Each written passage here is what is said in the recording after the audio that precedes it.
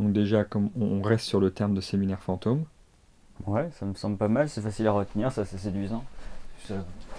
Donc si je reprends, si je reliste tous les points mm, qu'on a calés plus ou moins, euh, on prend une salle à l'EHESS vide. Ouais. On n'informe pas l'administration. Non. On se retrouve, euh, par exemple, si la salle est libre de, de, je sais pas moi, 16 à 18, on se retrouve à 16h en bas de l'école.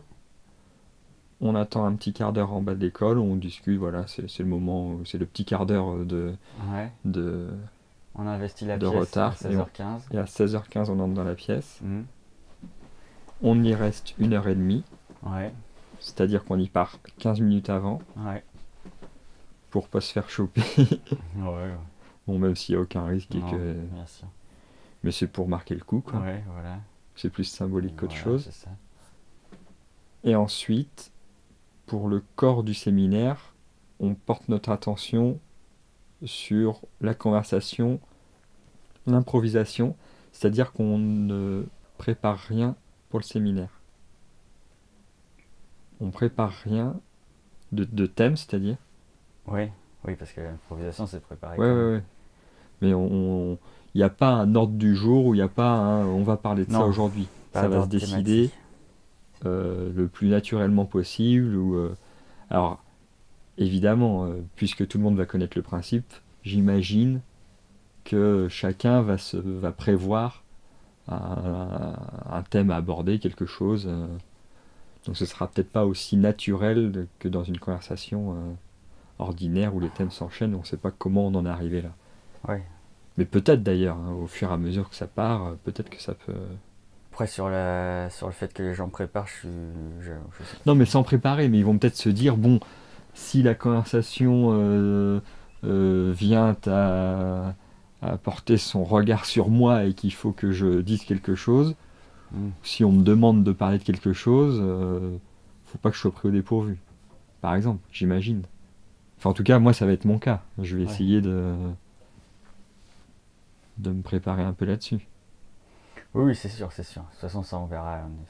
Donc, ça veut dire qu'il euh, faut peut-être aussi briefer ceux, qu'on, ceux avec qui on veut faire la première séance pour leur dire on ne prépare rien, mais rendez-vous disponible.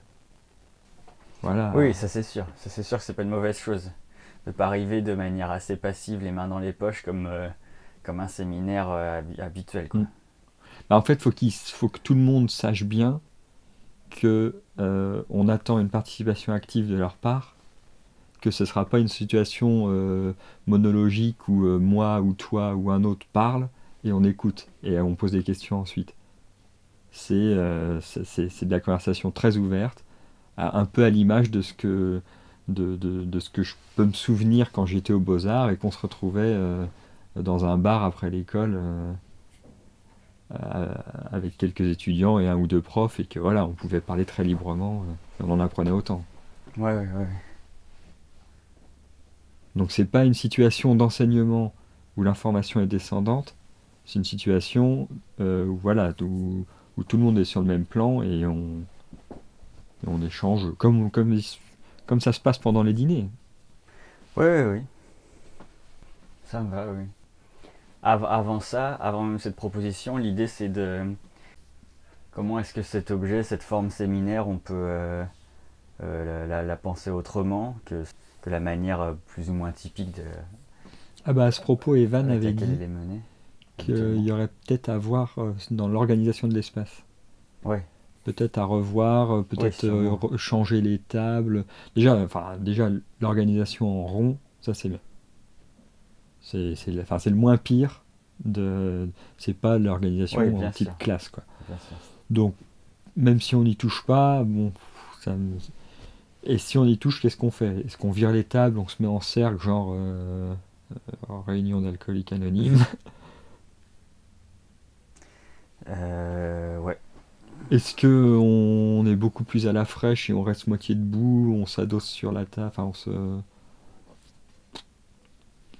parce qu'effectivement, de rester debout, rester debout, c'est peut-être une solution aussi. Hein. ou de s'asseoir si on a, envie, mais euh, parce que rester debout, d'une, c'est moins figé, dans tous les sens du terme, et euh, je pense que la conversation peut plus facilement partir euh, de façon spontanée. Parce qu'il y a toujours un petit flottement quand tout le monde s'assoit. C'est sûr, ça, tout, le monde, tout le monde se regarde comme ça.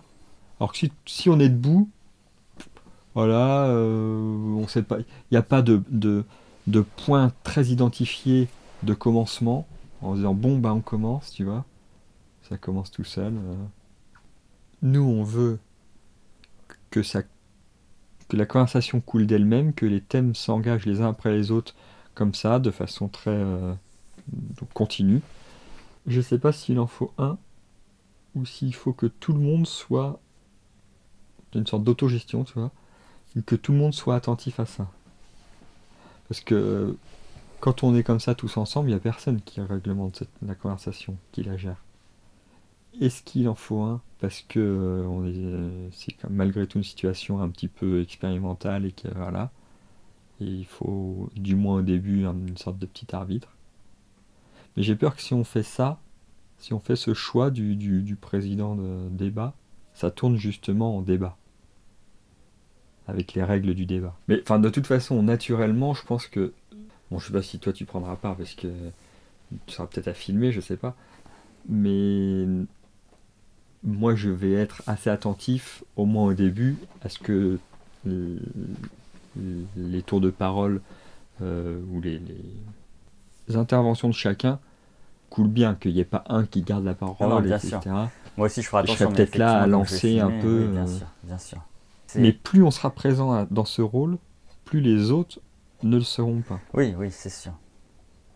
la première chose à faire, c'est que tout le monde soit à l'aise et qu'on soit là, dans la situation la plus, euh, la moins artificielle possible, malgré les quelques dispositifs qu'on va mettre en place.